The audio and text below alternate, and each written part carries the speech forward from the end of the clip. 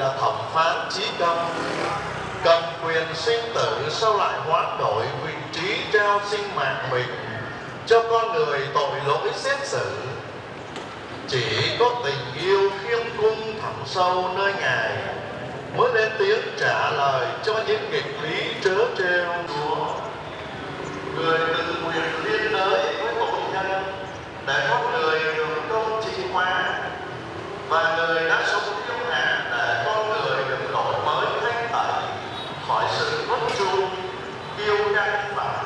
espaço.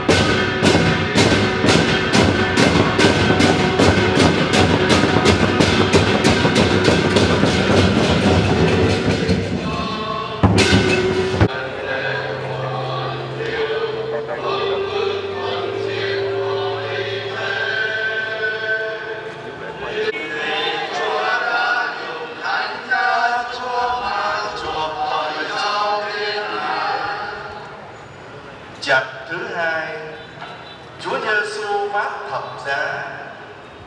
Sau khi phiên tòa xét xử Chúa Giêsu kết thúc, tin mừng Thánh Gioan viết tiếp, chính người phát lấy thập giá đi ra đến nơi gọi là núi sọ, tiếng Do Thái gọi là Golgotha. Thập giá là sự ô nhục đối với người Do Thái và là đồ đối với người ngoại giáo. Khổ hình thập giá không những nêu đến cái chết đau thương mà còn cả sự nhục nhã về tinh thần.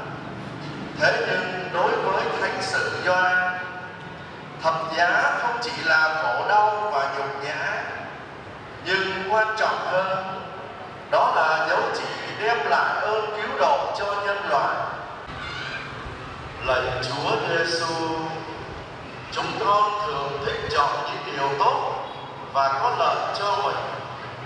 Nhưng khi lựa chọn như thế, vì vô tình hay thiếu ý, đôi lúc chúng con đã trao cho người khác biết đau bao nhiêu đau khổ. Xin giúp chúng con đừng bao giờ tạo gánh nặng cho những người sống chung quanh.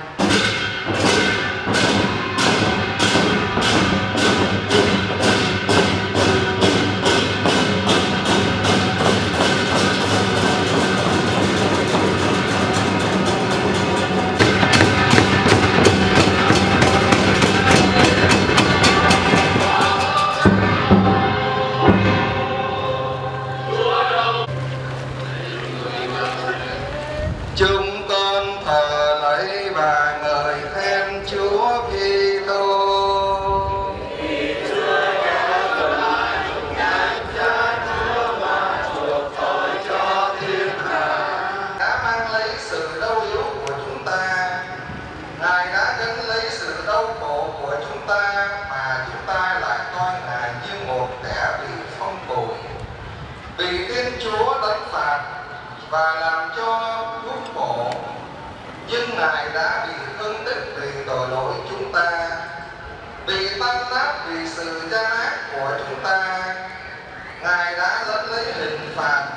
để cho chúng ta được bình an và bởi hương tích của ngài mà chúng ta được chữa lành tất cả chúng ta lang thang như chim cừu mỗi người một ngã Chúa đã nhận lên mình tội ác của chúng ta.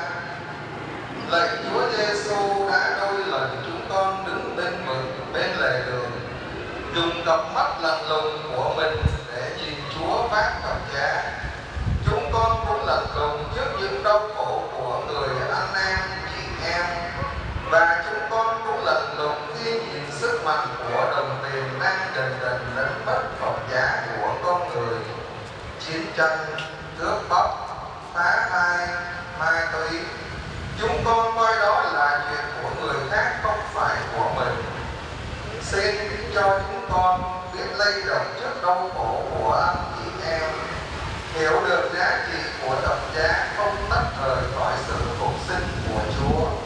Từ thất vọng, xin Chúa cho mình đầy niềm hy vọng.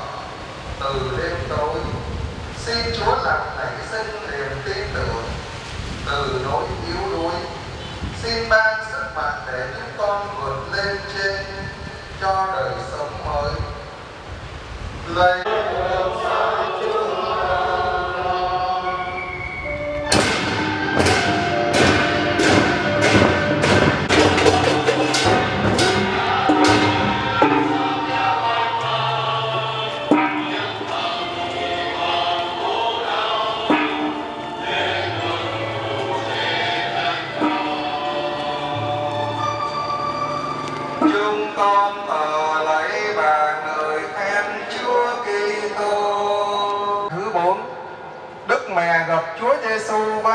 giá. Tình yêu mãnh liệt hơn sự chết, ngàn suối không dập tắt nổi, vạn sông chẳng nhận chìm được.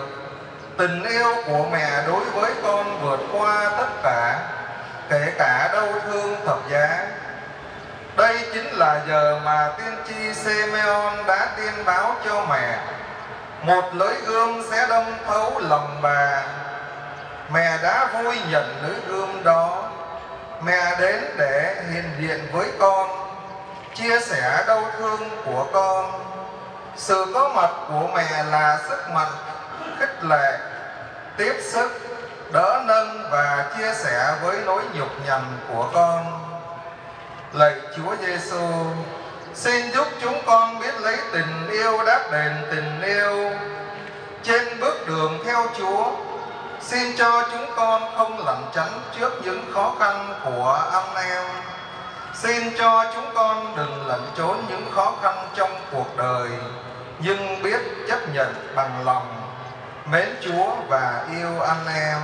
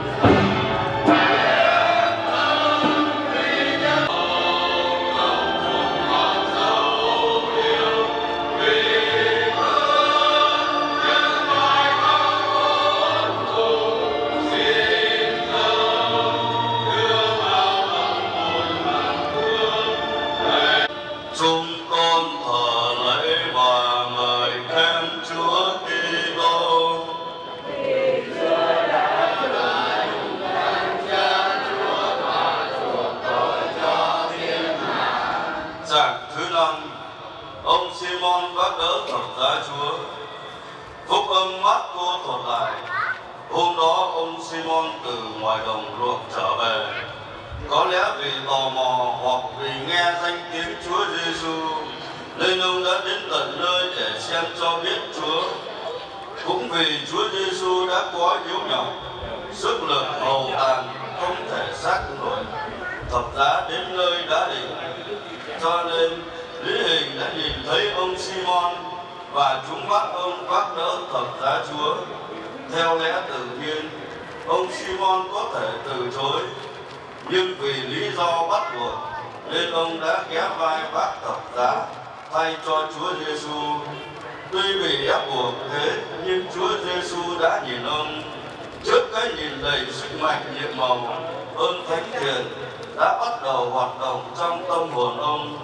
Ông không còn vác thập giá cách miễn cưỡng, nhưng ông đã vui lòng đỡ lấy thập giá Chúa, trở thành ân nhân ra tay giúp đỡ Chúa.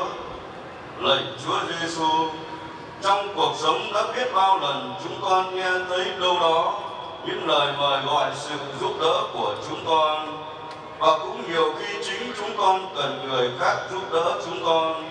Ông Simon thành Kyrene ngày ấy đã xuất hiện và giơ tay ra thật đúng lúc để giúp đỡ Chúa. Xin Chúa ban cho chúng con một sức mạnh, một tinh thần can đảm phục vụ như ông Simon ngày nào. Ngõ hầu mỗi khi giơ tay ra giúp đỡ người khác, chúng con sẽ có dịp bày tỏ với người rằng trên đời này họ không đơn độc một mình. Và khi ấy, chính chúng con cũng nhận ra được niềm vui hạnh phúc khi dâng hiến phục vụ mọi người.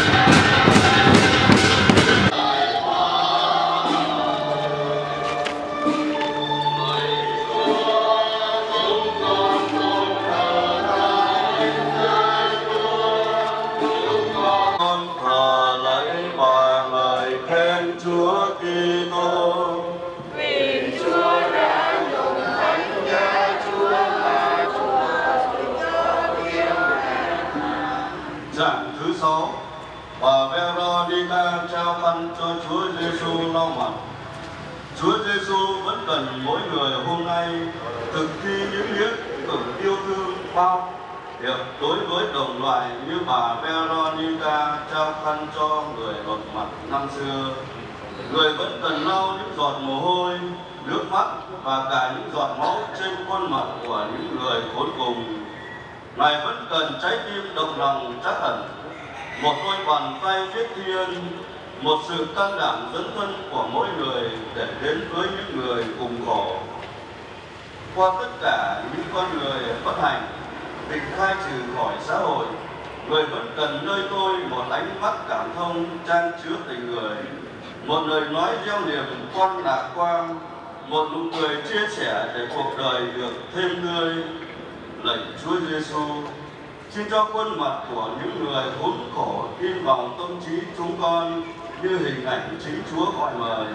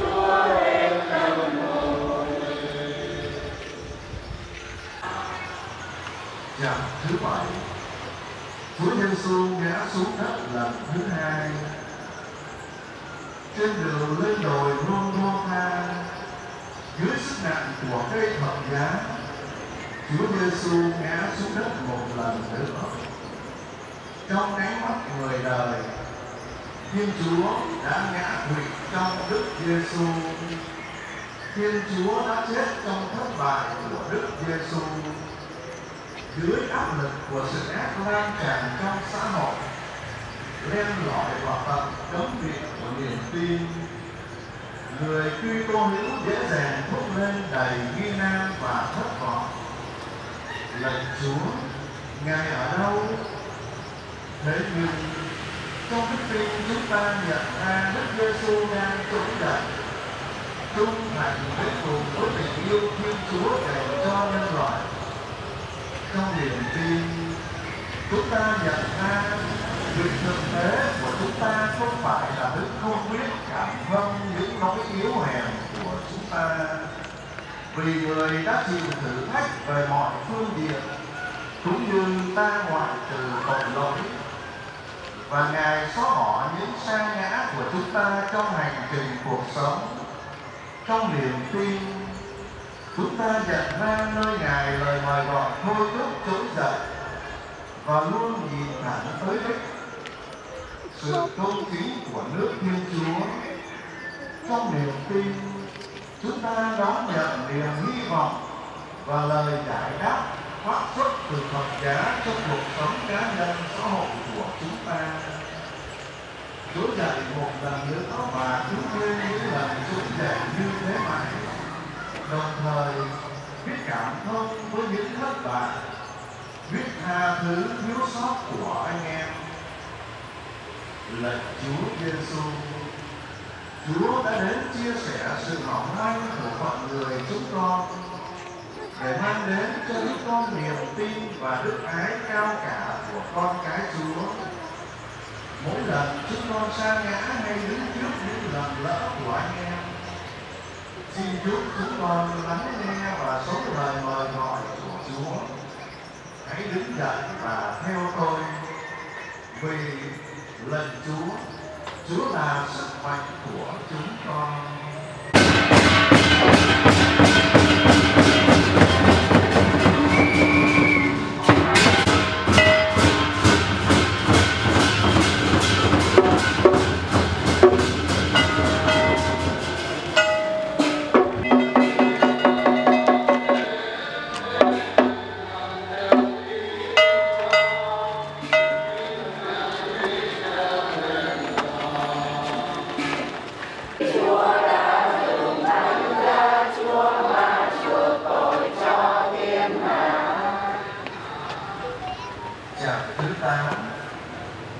Chúa Giêsu an ủi các phụ nữ Jerusalem. Trên đường lên đồi Cambe có đám đông dân chúng cùng các phụ nữ theo Chúa Giêsu thấy Chúa phải chịu đau khổ, các bà đã đấm đực và khóc lóc la ngài nhưng Chúa Giêsu quay lại và nói, hỡi các phụ nữ Jerusalem, đừng khóc thương ta song hãy khóc thương lấy mình và con các bà. Thay vì được an ủi, Chúa Giêsu đã lay động các phụ nữ trong hoàn cảnh sống của mình. Có biết bao phụ nữ đã đang đánh mất chính nhân phẩm cao quý, mà Thiên Chúa tặng ban chỉ vì một chút lầm lầm nhỏ nhoi vì thân yêu của mình phải đau khổ. Tất cả họ cần được an ủi xót thương lạy Chúa Giêsu nhờ cuộc tử nạn và thập giá Chúa, chúng con được sống trong đời sống mới. Xin Chúa làm mới lại những mảnh đời phụ nữ đang phải chịu áp bức, khinh khi. Xin Chúa làm mới lại những gia đình đang phải tan vỡ vì những xung đột vợ chồng. Xin Chúa cho những người vợ, người mẹ luôn biết hồi tâm vì những lỗi lầm mình đã phạm lời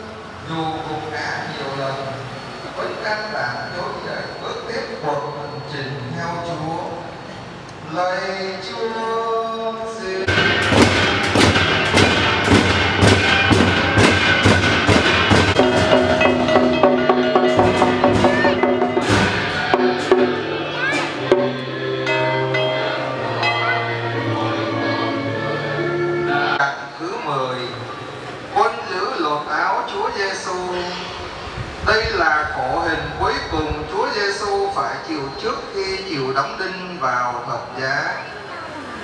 Đức Giêsu là vị Thiên Chúa giàu sang vô cùng, là Chúa tể trời đất mà nay lại trở nên khốn cùng đến nỗi không còn một manh áo để che thân.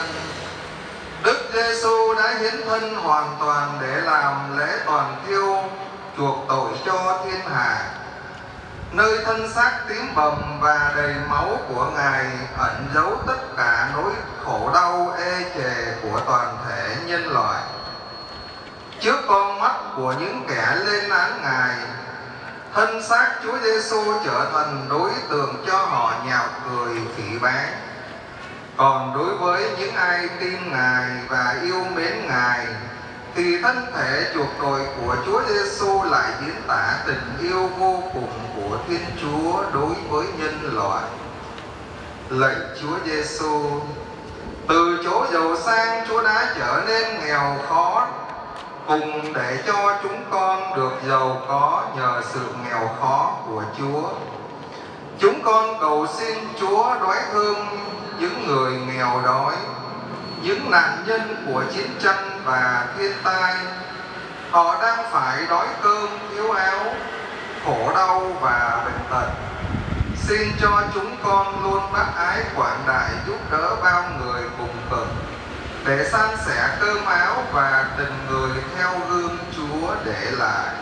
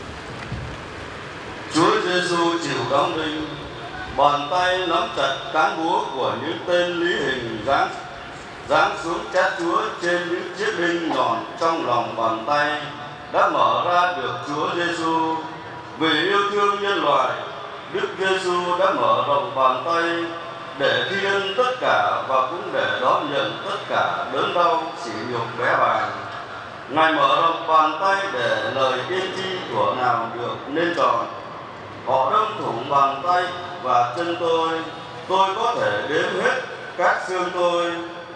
Trước cái chết đáng sợ đang đợi sẵn, Chúa Giêsu vẫn mở rộng bàn tay, đôi chân và tấm thân vốn đã bị tước đoạt hết y phục để thi thố tình yêu trước sự độc ác, công phẫn của lòng người. Ngài dùng chính hành động của kẻ sát nhân để bày tỏ tình yêu không cạn kiệt. Hằng ở bên cha trong Ngài, toàn thân Ngài đã nên thương tích để chữa lành những tâm hồn mang vết tích đau thương. lệnh Chúa Giêsu bị đóng đinh, xin thúc đẩy chúng con yêu thương không chỉ là ban tặng gia ân nhưng còn là mở trọn đôi tay tấm lòng đón nhận những vết thương rớm máu nhiều khi thật nghiệt ngã chớ trêu khó lành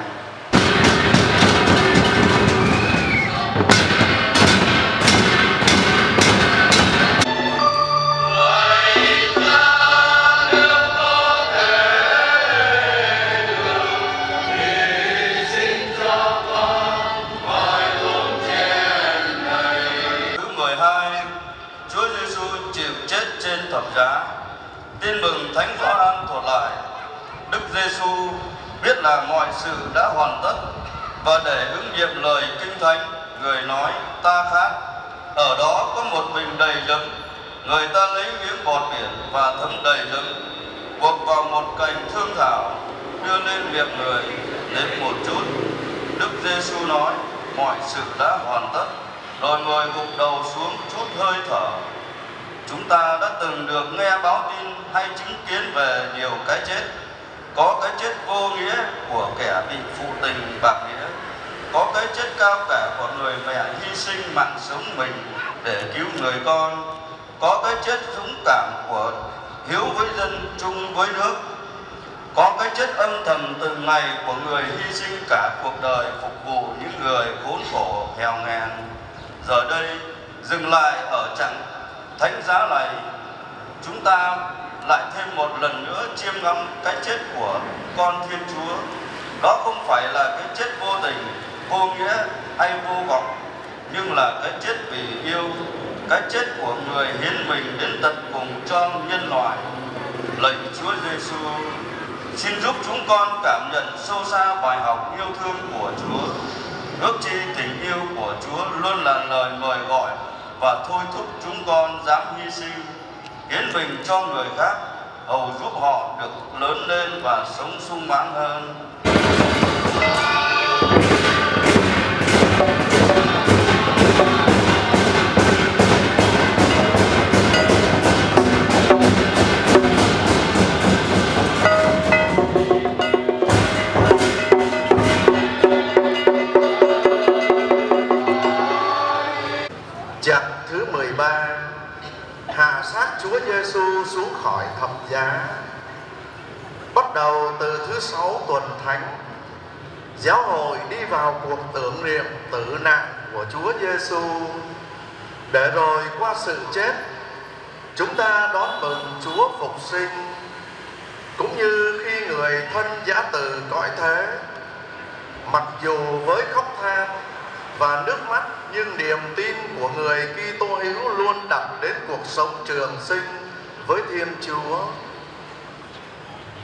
Chúa Giêsu, Chúa đã mang lại cho chúng con sự sống đích thực, sự sống mà chính Chúa phải trả giá, phải được hạ xuống tận lòng đất.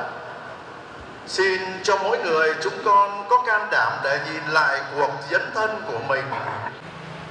Lạy chúa xin chúa thương xót chúng con.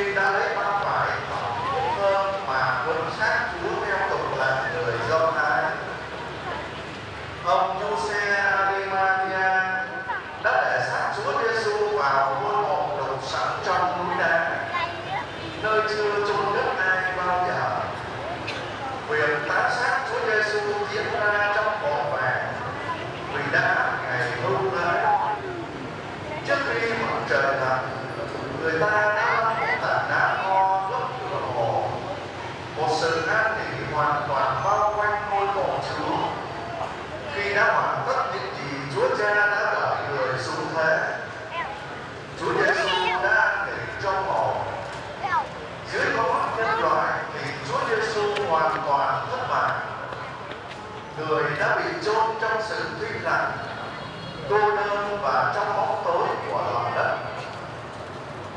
Lạy Chúa Giêsu xin cho chúng con luôn biết liên kết với Đức Maria trong đức tin và niềm hy vọng để mọi nỗi sầu buồn khổ đau không làm suy giảm niềm tin của chúng con. Và dù bóng tối càng bị mù, thử thách càng nặng nề thì chúng con càng kiên vào Chúa